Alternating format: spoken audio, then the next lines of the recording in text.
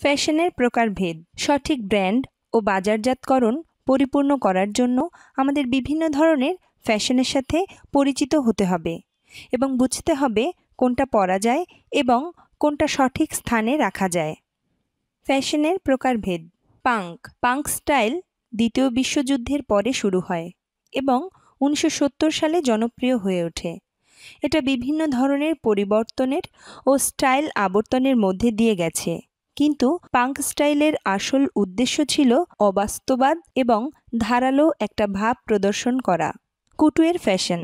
কুটুয়ের fashion একজন নির্দিষ্ট ক্রেতার জন্যে। এটি তৈরি একজন আলাদা ক্রেতার জন্যে এবং এটা সাধারণত অনেক ভালো মানের দামি কাপড়ের ব্যবহার করে খুঁটিনাটি প্রতিটি ব্যাপার লক্ষ্য রেখে তৈরি করা হয়। এটা অনেক অনেক বিলাসবহুল ফ্যাশন। রাস্তার ফ্যাশন। রাস্তার ফ্যাশন হচ্ছে এমন একটা ফ্যাশন যেটা স্টুডিও নয়, বরং অনেক তৃণমূল থেকে এসেছে। রাস্তার ফ্যাশন সাধারণত কম বয়সীদের সংস্কৃতি নিয়ে জড়িত এবং বেশিরভাগ সময়ই সেগুলো ছিল শহর কেন্দ্রিক গথ ফ্যাশন। গথিক ফ্যাশন এমন একটা কাপড়ের রীতি যেটা গদ্যের সংস্কৃতি থেকে এসেছে।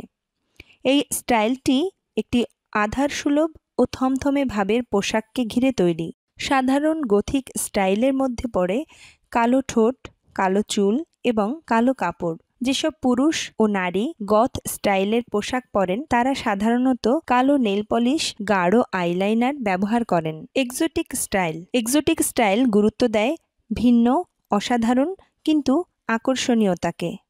একজন ভ্রমণকারী যিনি অন্য কোনো বহিরাগত স্থান থেকে আসে, তিনি হয়তো এক্সোটিক স্টাইল দেখাতে পারেন। এক্সোটিক স্টাইল প্রায় সময়ই অনেক রহস্যময় এবং আগ্রহজনক হয়ে থাকে। এই পোশাকের স্টাইল লম্বা, বহমান প্রান্ত, যেটা সুন্দর স্মোকি রং, সূচিকর্ম, রহস্যময়, অলঙ্কারিক ধাঁচ, জঙ্গলি প্রিন্ট ও চকচকে অলঙ্কার ইত্যাদি নিয়ে হয়ে থাকে। ঐতিহ্যবাহী। ঐতিহ্যবাহী ফ্যাশনগুলো সাধারণত রুচিশীল ও সংবেদনশীল পাশের বাড়ির মেয়ের মতো। এই ধরনের মানুষের বৈশিষ্ট্য হচ্ছে তারা অনেক বাস্তবিক, ভদ্র এবং সবসময় যথাযথ পোশাক পরতে পছন্দ করে। তাদের স্টাইলগুলো অনেক ক্লাসিক, কারণ তারা সময় অনুযায়ী পোশাক পরিধান করতে পছন্দ করে।